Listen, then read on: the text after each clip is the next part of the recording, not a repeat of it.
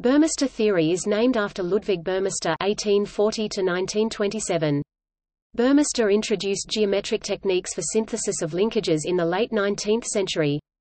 His approach was to compute the geometric constraints of the linkage directly from the inventor's desired movement for a floating link. From this point of view a four-bar linkage is a floating link that has two points constrained to lie on two circles. Burmester began with a set of locations, often called poses, for the floating link, which are viewed as snapshots of the constrained movement of this floating link in the device that is to be designed. The design of a crank for the linkage now becomes finding a point in the moving floating link that when viewed in each of these specified positions has a trajectory that lies on a circle. The dimension of the crank is the distance from the point in the floating link, called the circling point, to the center of the circle it travels on, called the center point. Two cranks designed in this way form the desired four-bar linkage. This formulation of the mathematical synthesis of a four-bar linkage and the solution to the resulting equations is known as Burmester theory. The approach has been generalized to the synthesis of spherical and spatial mechanisms.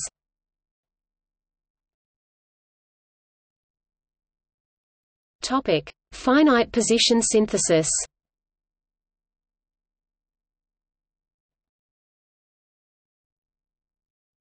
Topic: Geometric formulation.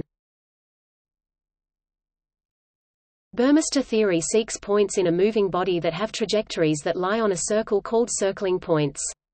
The designer approximates the desired movement with a finite number of task positions, and Burmester showed that circling points exist for as many as five task positions.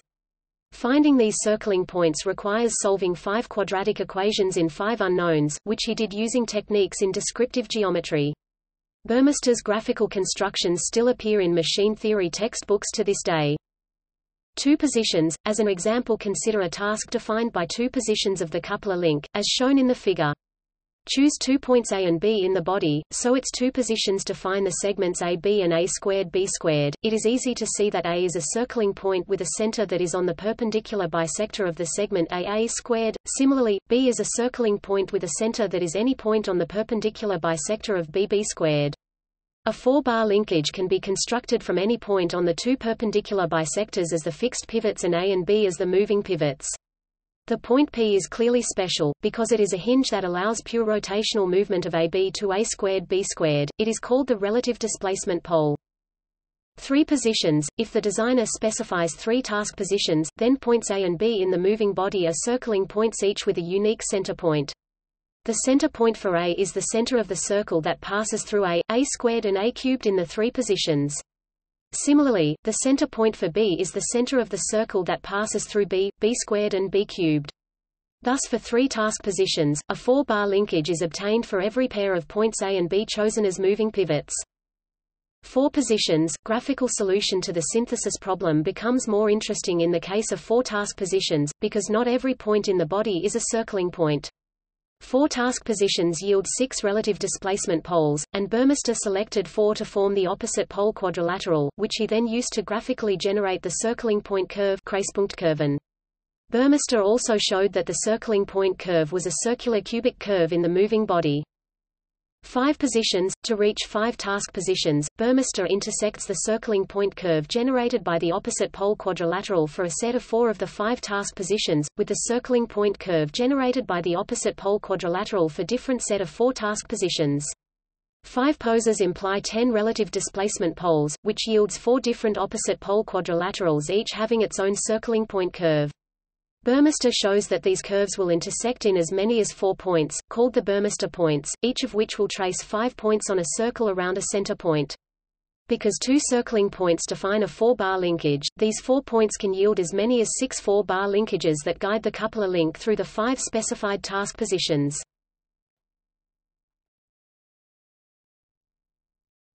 Topic: Algebraic formulation.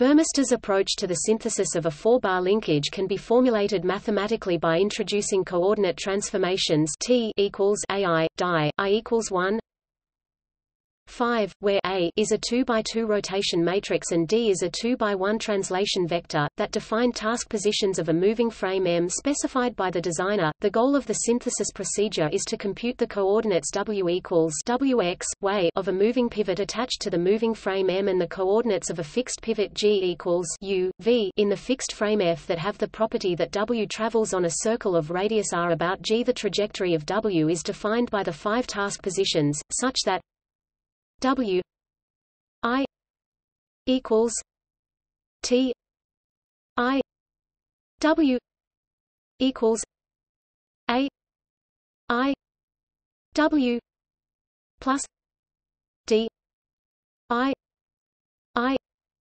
equals one five Display style Math W caret I equals T underscore I Math W equals A underscore I Math W plus Math D underscore I quad I equals one L dots five.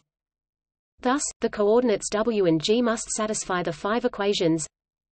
W I minus G W I minus G equals R two I equals one five. Display style Math W caret I Math G C D O T Math W caret I Math G equals R caret two quad I equals one L dots five.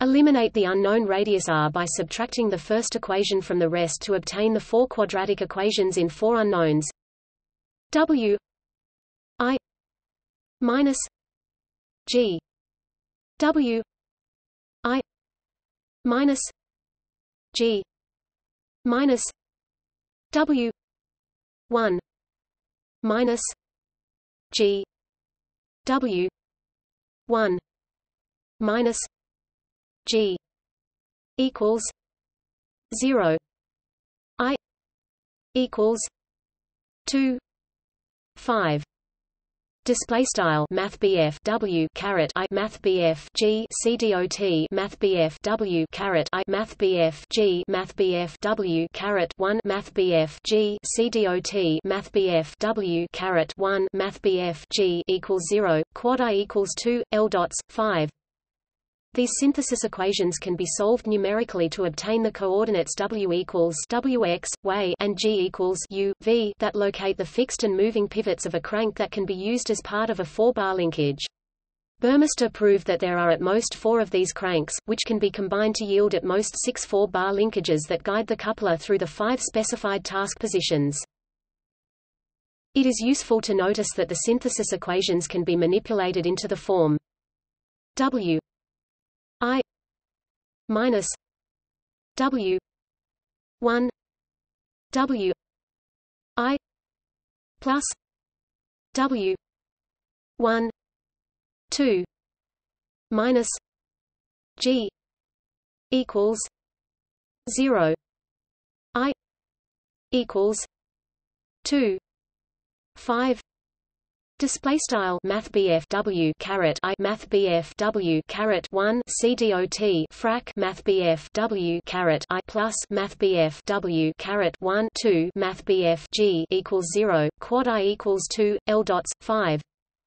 Which is the algebraic equivalent of the condition that the fixed pivot G lies on the perpendicular bisectors of each of the four segments YW1, I equals 2 5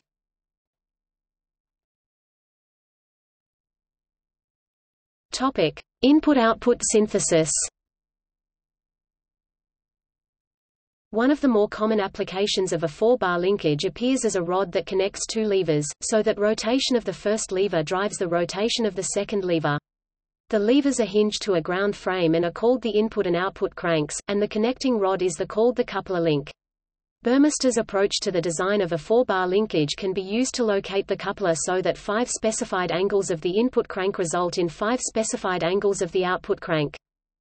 Let theta i, i equals 1, 5 be the angular positions of the input crank, and let psi i, i equals 1, 5 be the corresponding angles of the output crank. For convenience locate the fixed pivot of the input crank at the origin of the fixed frame, O equals 0, 0, and let the fixed pivot of the output crank be located at C equals Cx, psi, which is chosen by the designer. The unknowns in this synthesis problem are the coordinates g equals gx, gy of the coupler attachment to the input crank and the coordinates w equals wx, way of the attachment to the output crank, measured in their respective reference frames. While the coordinates of w and g are not known their trajectories in the fixed frame are given by g i equals a theta i g w i equals a psi i w plus c i equals 1 5 Display style Math G caret I equals a theta underscore I Math G quad Math W caret I equals a psi underscore I Math W plus Math C quad I equals one L dots five where a denotes the rotation by the given angle. The coordinates of W and G must satisfy the five constraint equations. W I minus G I W I minus G I equals R two I equals one five Display style Math W caret I Math G caret I C dot Math W caret I Math G caret I equals R caret two quad I equals one L dots five. Eliminate the unknown coupler length R by subtracting the first equation from the rest to obtain the four quadratic equations in four unknowns.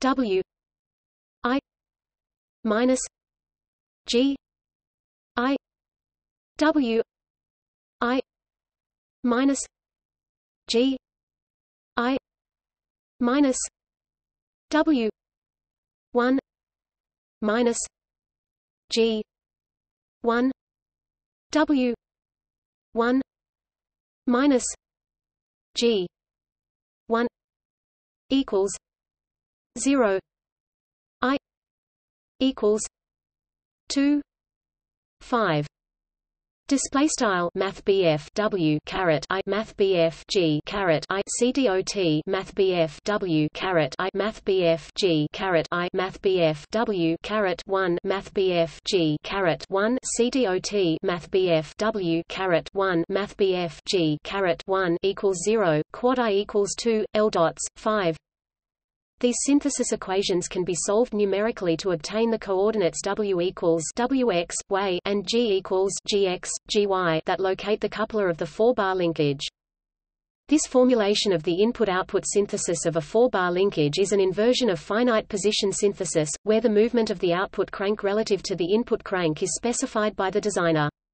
From this viewpoint the ground link OC is a crank that satisfies the specified finite positions of the movement of the output crank relative to the input crank, and Burmester's results show that its existence guarantees the presence of at least one coupler link. Furthermore, Burmester's results show that there may be as many as three of these coupler links that provide the desired input-output relationship.